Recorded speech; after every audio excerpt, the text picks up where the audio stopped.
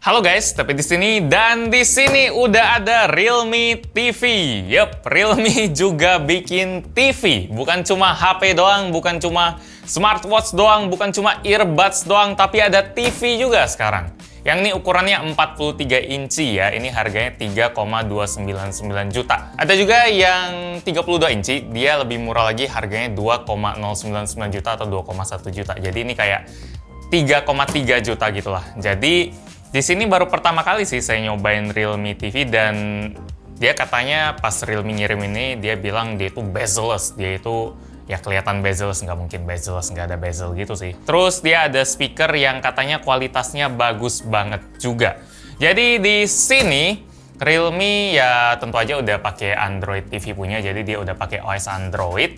Terus di sini ada Google Assistant juga, ini Android 9 ngomong-ngomong. Ada Google Assistant dan bisa dikonekin pakai Chromecast juga. Di sini ya spek-speknya biasa. Di sini ada Netflix sudah wajib, ada Dolby Audio. Mungkin ini yang bikin Realme bilang kalau audionya itu bagus dan ada empat speaker juga. Nanti kita langsung tes. Ya ini ada Chromecast built-in juga. Tadi saya udah bilang di sini ada apa lagi ya? Wow, oke, okay. ada QC Pass, jadi udah melewatin quality control dan ada bisa connect YouTube pasti Amazon Prime Video, Google Play. Itu udah pasti semua, udah standar sebuah smart TV lah. Sekarang kita langsung buka aja.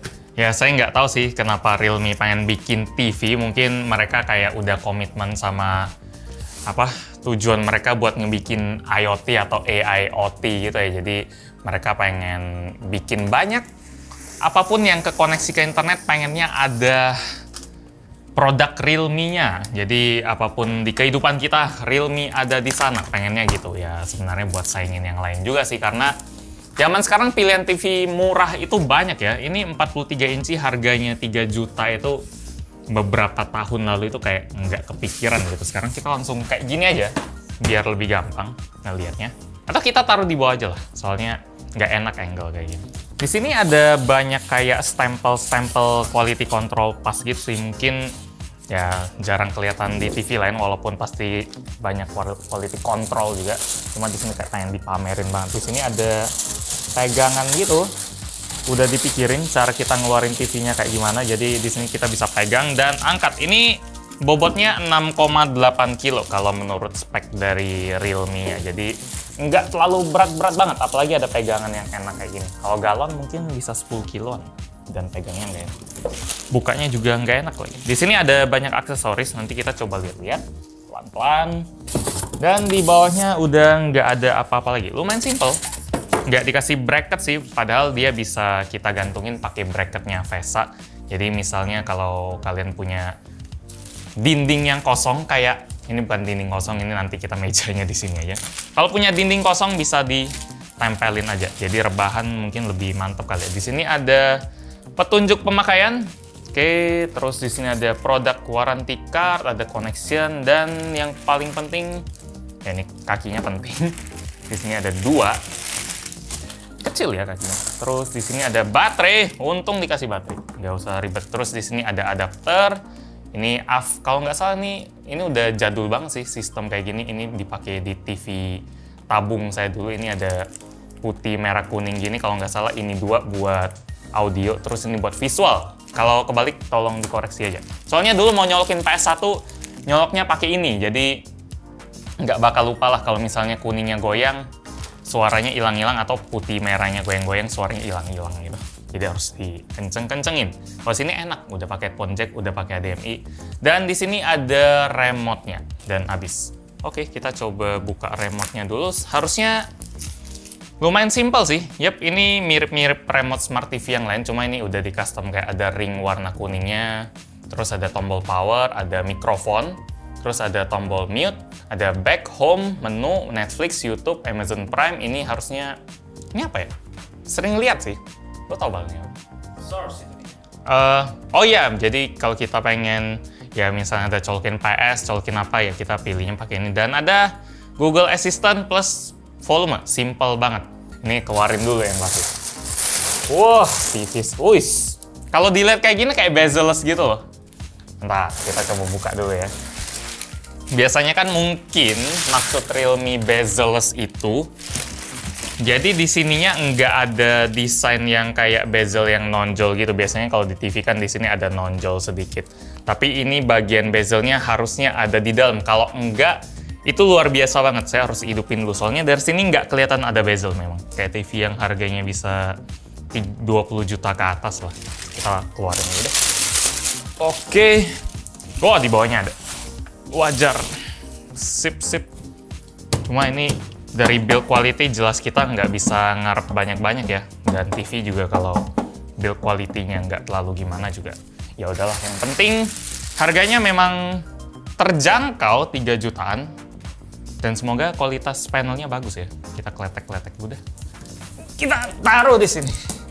Ya, di sini ada tulisan L-nya yang bukan info yang penting-penting banget sih. Pasti kalau misalnya salah pasang bakal ketahuan juga kalau kebalik zaman sekarang nggak tahu ya kalau TV 43 inci itu harga 3 juta menurut kalian mahal atau murah tapi yang pasti dulu 3 juta kayaknya nggak bakal dapat deh TV kayak gini itu adalah salah satu untungnya banyak persaingan makanya pas Realme datengin TV kayak gini walaupun udah banyak TV yang levelnya budget saya mah senang-senang aja minimal bakal bikin brand lain. Waduh, Realme kok ikut-ikutan TV, kenapa nggak ributin HP aja sih?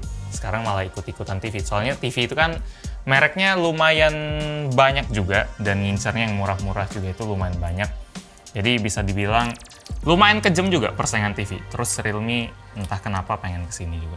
Cuma sangat saya welcome sih. Di sini ada tulisan logo Realme ya, sama kayak logo-logo di HP Sisanya sih sama aja sih. Sini di sebelah kanannya ada head, ada jack buat headphone, terus ada USB Type A, ada jack AV, ada digital audio out, ada antena, dan ada HDMI-nya satu ya. Terus di sebelah sini harusnya ada HDMI lagi. Soalnya kalau satu doang rasanya agak satu doang.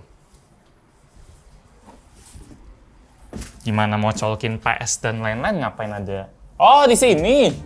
Ya ya, jadi di sini ada port buat LAN juga sampai ada ada HDMI 3, ada HDMI 2 dan ada satu port USB lagi. Soalnya kalau TV cuma punya satu port HDMI aja gimana mau colokin um, kayak PS, terus misalnya mau nyolokin Nintendo, mau nyolokin CD player, mungkin mau nyolokin audio player gitu.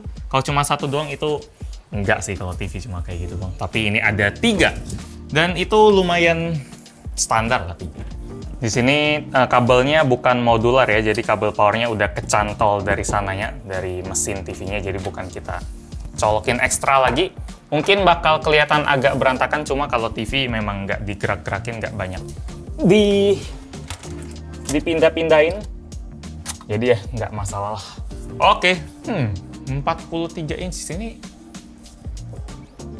kayak ada screen protector tambahannya gitu suaranya bagus sih kesan pertama. Kalau diginiin pixelnya kelihatan banget. Ya ini resolusinya full HD, cuma kita kalau nonton TV kan memang nggak mungkin sampai sedekat ini. Hmm, di sini warnanya sih oke okay ya. Yang tadi pertanyaan itu kalau misalnya remote-nya nggak kita arahin ke TV-nya, dia juga bisa tetap ngerespon.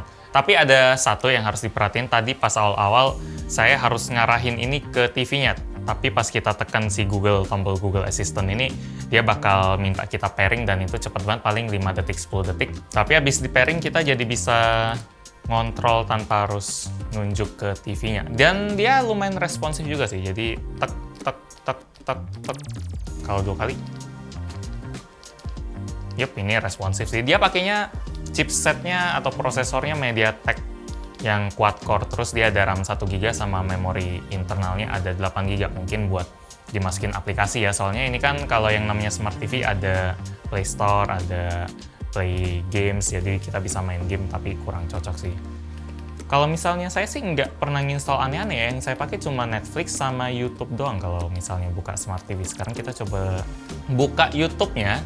Dan satu yang saya sadarin pas mulai nyoba-nyobain TV ini, dia bezelnya memang tipis banget. Ini kata Realme cuma 8,7 mm dan saya percaya-percaya aja sih.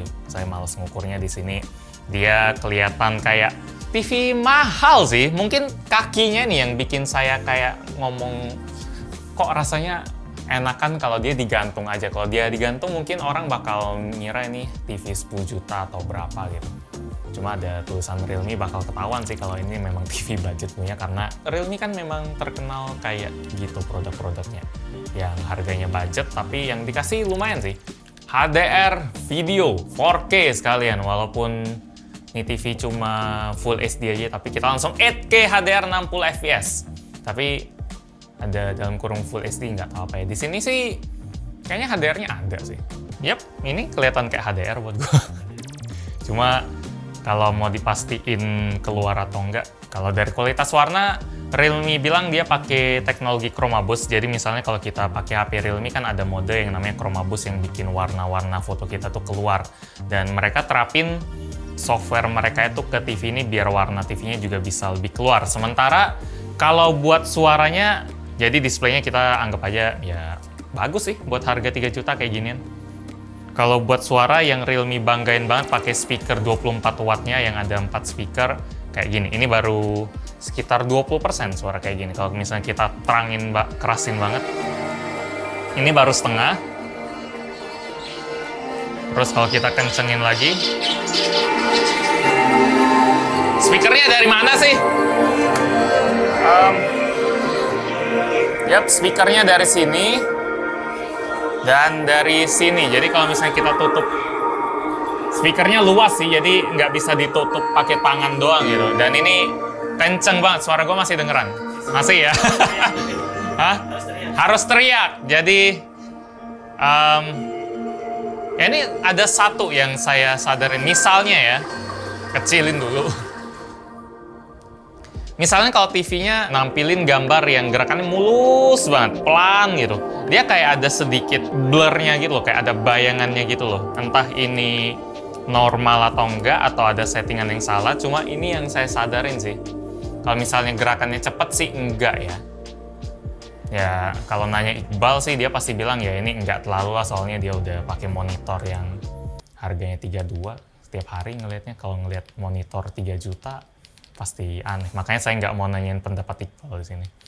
Nggak bakal balance soalnya. Lanjut ke Netflix kali ya. Kalau fitur-fitur kayak gini kita matiin dulu fit, secara fitur sih TV yang udah smart itu mirip-mirip soalnya kan dia sistem operasinya sama. Jadi kalau misalnya beli smart TV apa pun kayak HP jadinya. Asal dia Android, isinya bakal kayak gini kira-kira. Cuma yang Iqbal bilang kalau ada TV lain yang nggak bisa putar Netflix. Sementara kalau di sini sih aman ya. Crazy Awesome Teacher. Oke. Okay. Oh, film baru ya. Dari siapa namanya? Bukan, ini cowok ini mah bukan Dian Sastro. Oh, Gading, ya. Gading Martin. Kemarin pas pergi ke CGV ada ngeliat posternya juga, tapi ternyata ada di Netflix. Coba kita kencengin ya. Oke. Okay. Kalau nonton film segimana gitu? Ya Pak. Ya, kira-kira suaranya kayak gini. Agak sedikit kalau kekencangan agak sedikit berdengung gitu sih kayak ada bikin telinga bergetar gitu.